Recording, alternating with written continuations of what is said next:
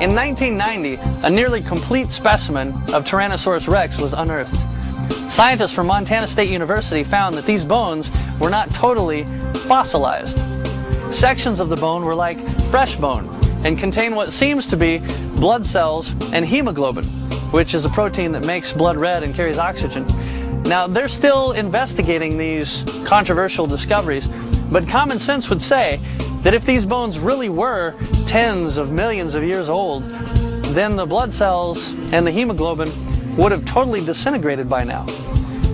And the bones certainly shouldn't be fresh. It's just microevolution. Now, I teach evolution.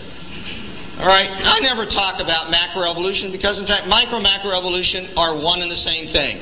Give enough time, you can turn anything into anything. Yeah, it's true. It's true. All right. I have it's proven. You have the fossil record. It shows all the steps.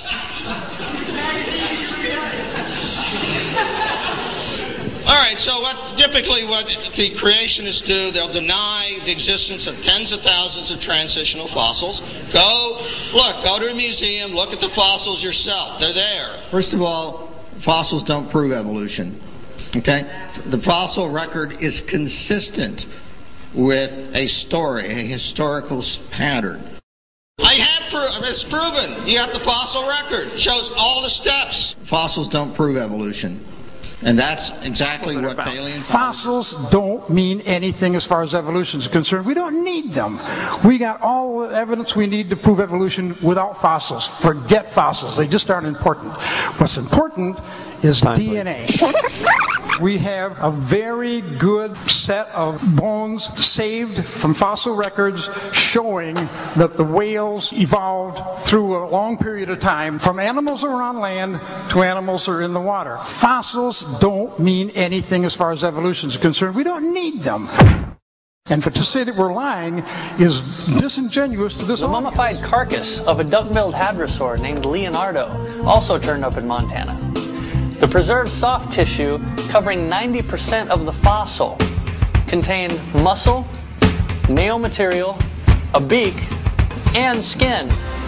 His last meal consisted of a salad of ferns, conifers, and magnolias, seasoned with pollen from 40 different plants. This type of evidence would undoubtedly lead one to realize that dinosaurs probably aren't as old as previously thought. What, what examples do we have of evolution, regardless of the conditions, fast or slow? Please name your best one. Well, we talk to the fossil record, right? we talk to the obvious existence of extinct and ancient life forms that have all the appearance, unless you believe a very complicated conspiracy theory, they have all the appearance of being millions of years old, right? So the fossil record, the more we fill it in, the more complete it becomes and the more powerful it becomes as evidence for evolution. Fossils don't prove evolution. Fossils don't mean anything as far as evolution is concerned. We don't need them. Number of chromosomes is an interesting study. It is indeed true that chimps have 48, humans have 46. Tobacco also has 48. Uh,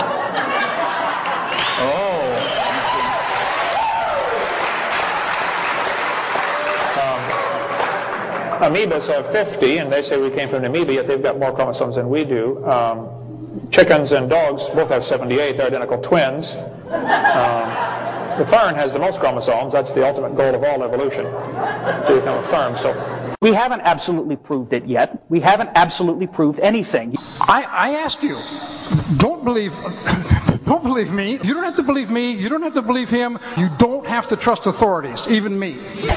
I would encourage you students to open your mind just a little bit and think about possibly, it could be, just like when people were taught the earth was flat and later they found out, oops, that's wrong.